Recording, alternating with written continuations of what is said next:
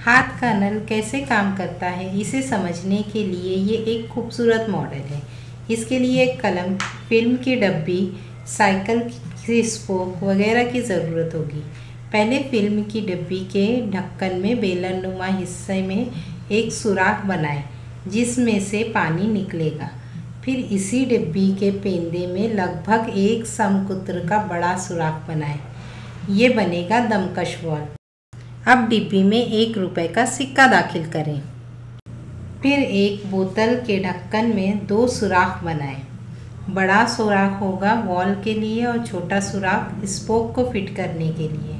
Cycle spoke में दो nipple nut की मदद से इस, से इसे पिस्टम में फिक्स कर दें।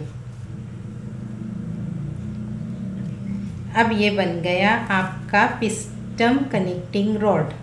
जो पिस्टम को ऊपर नीचे करेगा। एक टेप लेकर चस्पा हिस्सा थोड़ा सा मोड़ लें और बाकी बांधा हिस्सा इस ढक्कन के किनारे पर चस्पा कर लें। अंदर से कोई चीज़ डालने पर वो एक तरह का यक तरफा ट्रैफ़िक बन जाएगा। ये हुई हमारी तरसील की दीवार। फिर पिस्टम और कनेक्टिंग रॉड को फिट करें। फिर इसका ढक्कन लगा दें। अब आपका पंप चलाने के लिए तैयार है। इसे एक पानी से भरे मग में रखें और साइकिल के स्पोक को जैसे ही आप ऊपर नीचे करोगे, तेज़ धार से इस पंप में से पानी बाहर निकलेगा।